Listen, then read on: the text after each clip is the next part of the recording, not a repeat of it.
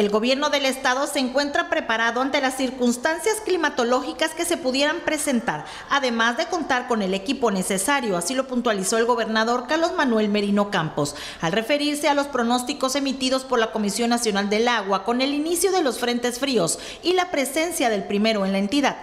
Merino Campos comentó que es importante la participación ciudadana para seguir las indicaciones de las autoridades municipales. Se ha hecho todo le pedimos a la ciudadanía que haga su parte. Siempre eh, las calles, los encharcamientos, se ven afectadas las calles por eh, tirar basura que anega las rejillas de las coladeras de los drenajes.